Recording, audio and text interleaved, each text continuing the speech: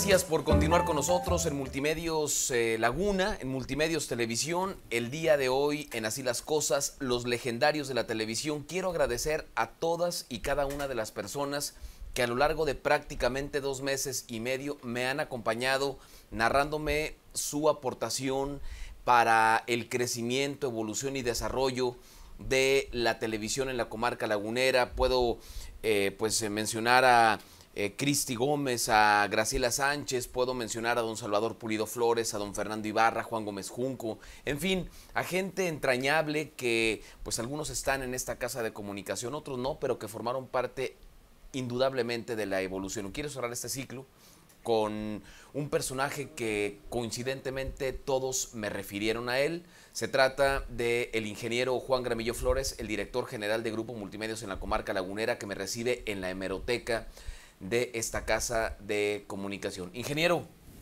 Ángel. Buenas noches. Muy buenas noches. Gracias por acompañarnos, ingeniero. No, al contrario, gracias por la invitación. A tus órdenes. Oiga, eh, nunca se acostumbró al tema de, de, la televisión nervioso, ingeniero. ¿Lo pone nervioso? Bueno, la verdad sí, a mí sí me pone nervioso. Ya después de 40 años todavía me sigo poniendo nervioso, pero pues este, fascinado de estar en este medio de comunicación. Eh, ingeniero, hablábamos antes de, de, entrar al aire, de grabar esta entrevista, que usted inició su carrera en el Instituto Politécnico Nacional, en la escuela. En la Escuela de Ingeniería, en la escuela, en la ESIME, Escuela Superior de Ingeniería Mecánica y Eléctrica.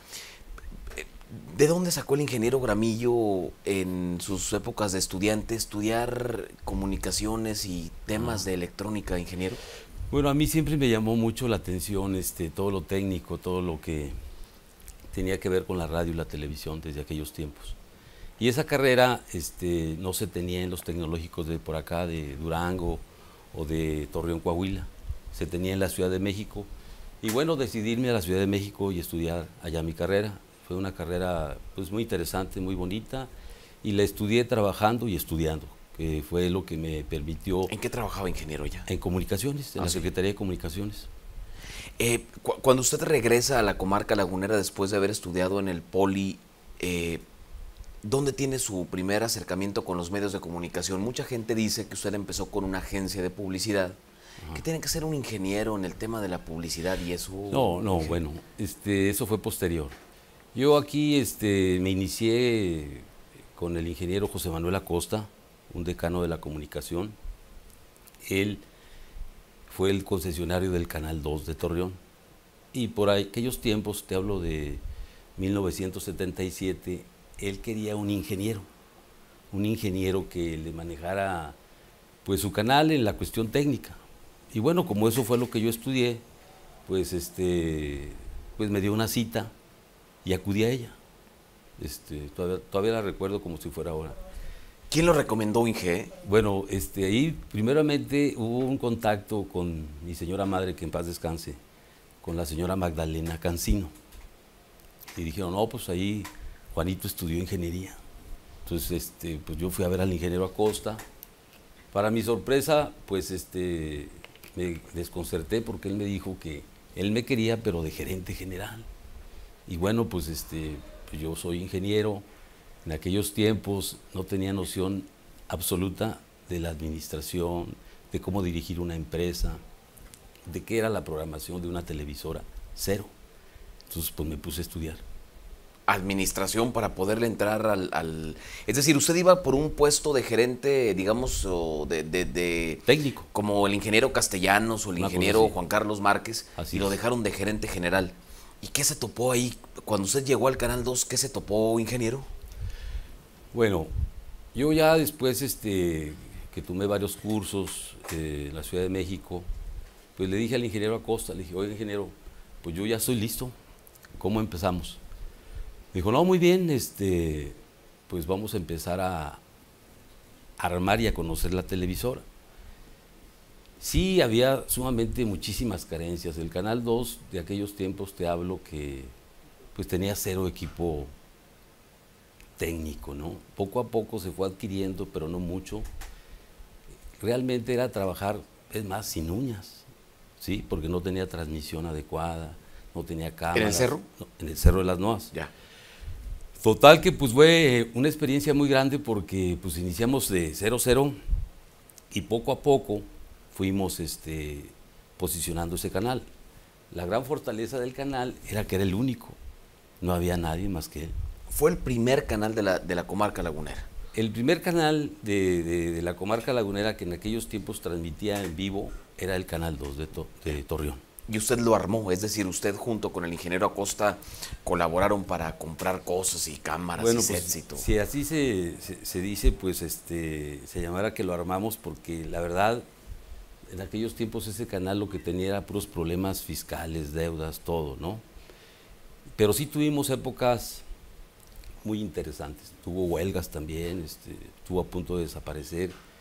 Y, y algo que recuerdo muy bien yo de aquellos tiempos fue que cuando tuvimos una huelga, yo le dije al ingeniero Acosta, oiga, ¿sabe qué? Déjeme manejarlo yo, déme chance. Y accedió. Entonces yo me fui a la Ciudad de México a hablar con un líder, todavía me acuerdo del nombre, Nezahualcóyotl de la Vega. Y fui hasta su despacho, yo tenía 25 años, una cosa, hace ya un buen tiempo. Nada, nada. Y le digo, oiga, este licenciado, déme oportunidad de sacar este canal adelante. No sé en qué consistió, pero el señor pues me tuvo confianza y me dio la oportunidad. Y entonces ahí el ingeniero Acosta le metió un, un recurso económico interesante. Y no, hombre, te, nos fue muy bien.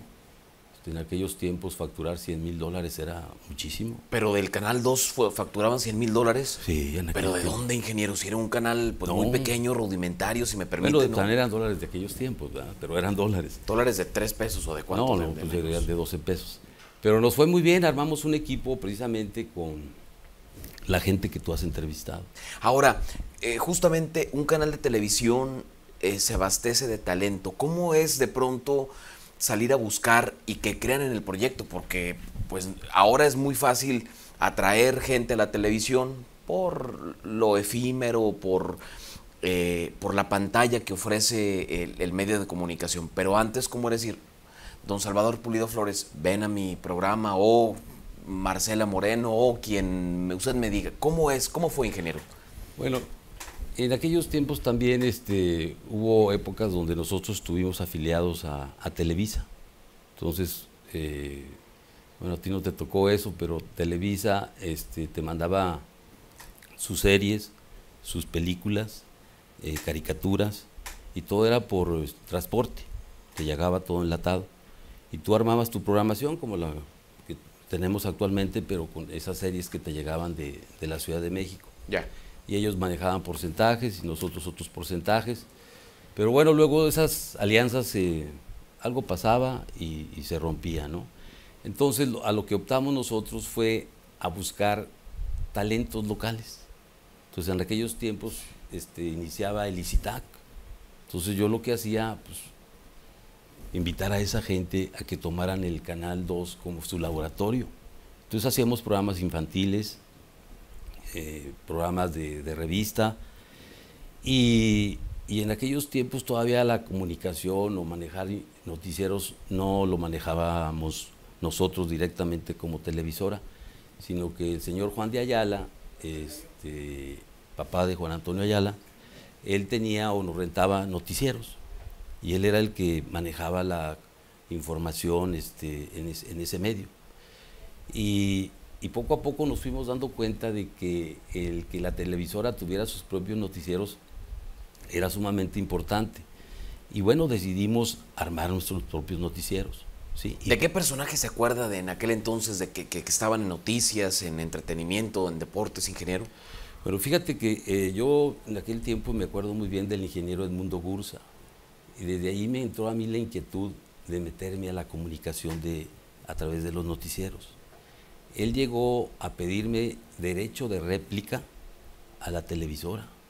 Y llegó con una multitud. Yo en ese tiempo estudiaba en la UANE, muy cerquitas ahí de las oficinas del canal que estaban por la Avenida Hidalgo. Dije, ¿y toda esa gente a dónde irá? Y cuando veo que van directamente a la televisora, pues sí me, me quedé asombrado. Y platiqué yo con el ingeniero, con el ingeniero Gursa. Dije, ¿qué es lo que usted quiere? Derecho de réplica. Pues en aquellos tiempos ni yo decía, "¿Esto qué- ¿eso qué es, verdad?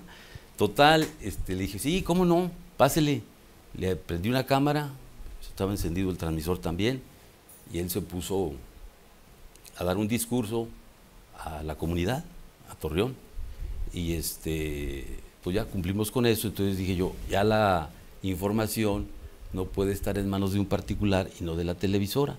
Iniciamos noticieros con, todavía me acuerdo muy bien de un compañero de Paco Hernández, y entonces ya entraron mucha gente a las noticias. Por ejemplo, Rosel, Rosel era, eh, bueno, un gran amigo, le mando un saludo. Eh, pues estaba, él decía, no, no, no, a mí no me pongas a cuadro. Yo, si quieres, te, nada más leo o narro como en radio. Dije, ándale, pues así nos vamos. Y llegó un momento en que le dije, no, pues este cuate ya tiene que entrar al aire con las cámaras. Y le dije, no, ya enciéndale las cámaras, préndanlas. ¿Sin que se diera cuenta? No, ya se dio cuenta al aire. Entonces, desde ese tiempo, pues él era el, el bueno del béisbol. Del, del, del, deporte. Del deporte. Y la señal la bajábamos a través de una antena. En aquellos tiempos las antenas parabólicas iniciaban. Yo creo que el canal 2 de Torreón fue la primera antena parabólica que hubo aquí en Torreón. ¿Sí? Entonces de ahí bajábamos la señal, ya la narraba este eh, Rosel, y así nos hacíamos del fútbol. Oiga, y el Inge, el Inge Acosta, el ingeniero Acosta era, era un hombre este, revolucionado, porque yo me acuerdo en aquellos entonces, digo, yo veía la televisión y pasaban las finales del Super Bowl y películas de estreno, ingeniero, usted ahí anda. usted las ponía, ¿qué le decía al ingeniero? Usted póngalas, ingeniero, ahí las películas de estreno y todo. No, pues siempre ha sido un ingeniero polémico. Eh, pues le tocó pues, tiempos complicados. Eh, yo me recuerdo que cuando yo empecé a trabajar con él, pues él me llevaba a mí a vender, íbamos a vender a los comercios. Y él fue mi maestro en cuanto a las, a las ventas. Eh, pero lo primero que llegábamos, que llegábamos con algún dueño de un negocio, con don Federico Sáenz, por ejemplo, este, pues nos decían, oigan, primero arreglen su canal, no se ve, etcétera, etcétera. Y, y la verdad, pues sí, fue un, un, sufrir, pero al final, pues de alguna manera se dieron buenas cosas, fueron 10 años ahí que estuve yo en, en el Canal 2, tengo grandes satisfacciones, este, se creó el programa Nuestra Gente, ¿sí? Nuestra Gente era un programa como Cambios. Ah, ya, ya, ya. Sí, entonces en, en aquellos tiempos, hablar, hablo del 77, del 78, hablar del, del presidente de la República. Sí, sí, claro. O hablar de, del ejército, o, o de la religión, o de preferencias, o de minorías. No, no, no, no. Era otra cosa. No se podía. Este, eh, me acuerdo que en una ocasión pues, escogimos el tema dijimos, bueno, vamos a tratar el tema de los travestis, que en aquel tiempo ya se veían por aquí en Torreón. Y el conductor me renunció, ya no, vi, ya no regresó. Porque iba a entrevistar a los travestis, Ah, seguramente. sí. Entonces este, lo tuve que sustituir por Ángel Cervantes también, que en paz descanse, este, un gran conductor y locutor. Ese era mi apagajuegos, él entraba todo. Y total se dio el programa, sí, muy polémico y todo, este, pero bueno, al final de cuentas, pues yo creo que nos estábamos adelantando a los tiempos. ¿eh? Ahora, eso justamente le valió, ingeniero, para que alguien de multimedios volteara con usted y dijera, a ver, tráiganme a, a- a ese señor que está ahí en el Canal 2. Pues no, déjame, te platico otra, otra anécdota que es así. A ver, échese, esa ha marcado mi vida. Eh, en aquellos tiempos, te decía yo, nuestra gente, pues Porfirio Muñoz Ledo, pues ya andaba en la corriente crítica del PRI. Entonces vino por acá y este, le dije, oiga, usted este, tendría una plática un debate con Alejandro Ursa. Me dijo, pues este, vengo muy rápido, pero voy a San Pedro y lo regreso. Ah, él venía con Samuel Aguilar. Y dijo, pero pues déjame ver. Le dije, no, se lo grabo. Lo grabamos y este y pues ya ahí platican ustedes dos, ¿cómo ve? Alejandro Gurse, pues todos es conocido que es un dis- distinguido panista, ¿va? Y empresario, ¿no? Y empresario. Total se da el programa. No, hombre, Saltaron chispas. Ah, hablaron de todo, ¿no? Yo ese día me fui a mi casa y, y me persiné. Y quién sabe qué va a pasar. No, sí, pasó algo. Porque aparte los dos son temperament muy temperamentales, Sí, ingeniero, ¿no? No, ese, ese programa de veras, este, eh, bueno, precisamente en, en las páginas de la opinión salió una página promoviendo ese programa. Eh, son de las cosas que me han quedado y que son unas grandes satisfacciones porque pues era hacer periodismo y era contra todo, ¿no? Ah, bueno, al, al ingeniero Acosta, no por eso, pero pues se intuye que fue por eso, tuvo unas horas en, en la cárcel. en la por por ese debate. Fue una cuestión que se aprovecharon para Ya. Aplicarle ciertas cosas. Pero sí, pues en ese sentido, el ingeniero Acosta fue un pionero. ¿verdad? El Canal 2 de Torreón de Se arriesgó, se, se se- todos se arriesgaron para, para ese debate. Es decir, digo, si, si en este momento me dice que va a juntar a esos personajes hoy día, este, yo de pronto le, le- le- le daría una pensada. Imagínese hace 30 años. 40 o años. 40 años, pues era, un, No, era no. una bomba con la vitalidad tanto de Alejandro Gursa como de Porfirio Muñoz No, Ledo. no, ¿no? sí, eran muy jóvenes ¿verdad? en ese tiempo. Pero bueno, son de las cosas que, que se van dando y que este, esta comarca lagunera ha tenido y, y sobre todo que pues siempre se ha caracterizado por tener medios de comunicación importantes. En aquellos tiempos lo que más se tenía era pues los dos periódicos, ¿no? Eh, La Opinión, el periódico El Siglo, a las estaciones de radio que en aquellos tiempos dominaban mucho eran las AMs, el grupo IR. El grupo IR era el, era el que dominaba todo, ¿no? Entonces, este, eh, entrar con el canal, con el canal 2, pues se veía un futuro muy interesante. Este, que bueno, al final de cuentas vino a, detonar y a desarrollar multimedios, la empresa donde estoy actualmente. Oiga, eh, retomo la pregunta que, que le planteaba eh, hace un momento en relación a que cuándo fue el momento en el que alguien de multimedios, desconozco quién le dijo, a ver, venga para platicar con usted, eh, ¿quiere trabajar aquí en multimedios? ¿Cómo fue su ingreso a multimedios, ingeniero? Bueno, mira, yo duré en el Canal 2 10 años. Ya por ahí, este, eh, cerca de los 90, termino mi relación laboral con eh, el ingeniero Acosta. Y bueno, pues yo me dediqué a, hacer lo que sabía. Entonces, este, me dediqué a la comunicación, este, a las relaciones públicas, puse mi agencia de publicidad, invité de socio al señor Pulido y me instalé aquí por la Ildefonso Fuentes. Ahí mi suegro me, me prestó la mitad de su casa. Y ahí instalé mis oficinas, este, puse la agencia, pues instalé mis equipos poco a poco y me metí a la cuestión de la publicidad eh, cerca de 3, 4 años directamente. Entonces este, me fue bien, afortunadamente. Yo creo que también esa es una etapa de mi vida que me ha marcado, que me dio la oportunidad de saber que tú solo eh, puedes, puedes, o sea, armar una empresa. Sí, sí, sin necesidad de, de estar bajo el cobijo de una empresa, uno solo puede emprender ciertas Sí, cosas. ¿no? entonces ahí este, fue un gran aprendizaje y que te da mucha seguridad, mucha seguridad de que tú solo vayas haciendo algo eh, empresarial, que vayas formando un patrimonio y que bueno, pues tus amigos, tus conocidos, tus relaciones que hiciste eh, te apoyen, pero siempre y cuando pues te des resultados. Entonces, pues yo tuve mi agencia, eh, te comento, no me iba mal, me iba bien y pues de repente me contactan que si quería una entrevista con, con el señor Francisco González. Pues dije yo, pues, ¿y de qué se trata o qué? Pues no, te queremos ofrecer que manejes una estación de radio. La, la caliente, la TRR. 92.3. 92.3. Entonces le dije yo, no, mira, pues una estación de radio, pues, a lo mejor me van a pagar muy poco y yo tengo mi agencia de publicidad y no la puedo dejar, etcétera. Pero pues ve y date una vuelta. Total no fui a la primera, pero a la segunda sí fui, A Monterrey. A la ciudad de Monterrey, todavía lo recuerdo como si fuera el primer día. Ahí conocí a don Francisco González y ya él me entrevistó. Me entrevistó y estuvimos platicando y estamos en la plática cuando ya me estaba contratando y todo.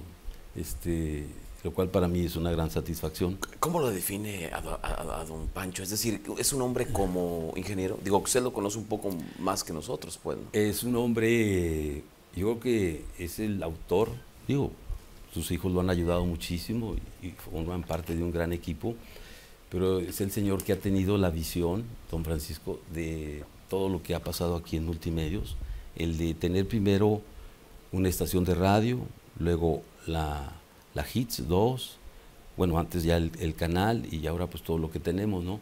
Pero él siempre lo visualizó así. Es decir, él es como el responsable de la multiplataforma del grupo, tener periódicos, radio, internet. Totalmente, totalmente. Don Francisco siempre ha sido un hombre, un empresario visionario y, que le ha apostado grandemente a esta comarca lagunera. Total que ahí en la plática me dijo, pues ya váyase a jalar. Dije, no, espéreme, yo tengo un negocio.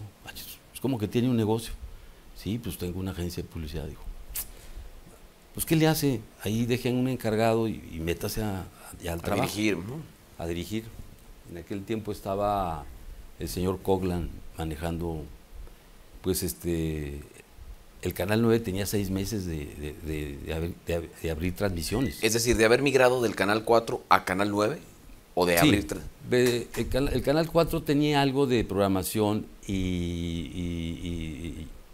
ya en el 91 tenía algo de programación en vivo toda la mañana, noticieros, eh, programas de revista, y, bueno, al cerrar Televisa, Canal 4, ¿sí?